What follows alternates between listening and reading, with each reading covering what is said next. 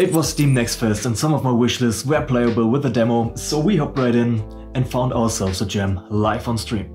We played 4 games in total and you don't want to miss the highlight at the end, so make sure you keep watching.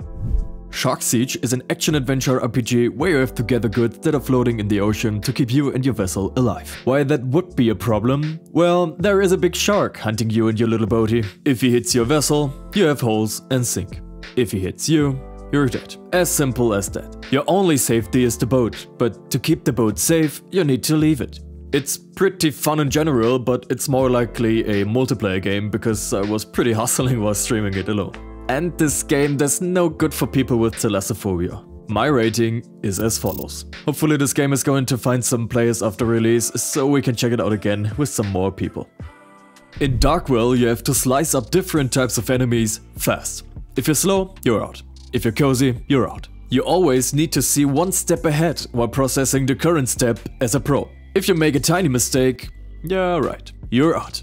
Darkwell is a fast-paced, one-hit kill-style top-down combat game that uses various methods such as hooks, deflect, dash and kills to end enemies. For players who aren't as slow and incompetent as me, this game is a decent hit in my opinion, so go ahead and check it out. For me and my personal rating, it looks like follows. If I wouldn't have been too stupid to get the swing done, I would have played it a little longer, but we will leave it with that.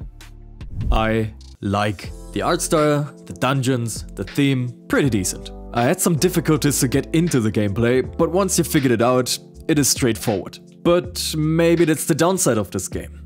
Maybe I haven't played long enough to see all the variations inside the game, but for now I could imagine that the replayability is suffering under this fact. The dungeons were similar and the art style hasn't had so much variation. I will keep an eye on it, but for now my rating is as follows. This rating is just for the offline mode. The online mode where you can compete against other players with custom dungeons could be also pretty fun.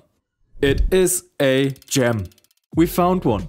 Tradesman, Deal to Dealer. It is the first of the most recent 7 games that I can't wait to play again on Sunday, live and stream, and since it's releasing on June 18th, we are able to actually play it a little more this week. In Tradesman you have to lead your wagon through the dangerous forest and streets, defend your supplies against various enemies and fight your through to the next town or outpost with the help of your mercenaries. My first run wasn't that successful, but we managed to had two or three good fights. If you look at my rating for this, you can see that this is pretty good. Normally I don't enjoy playing this genre that much, but Tradesman was very fun and I'm looking forward to the next session.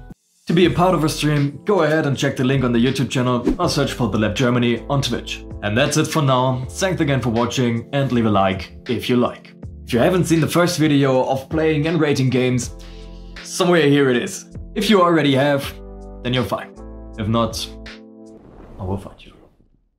Bye.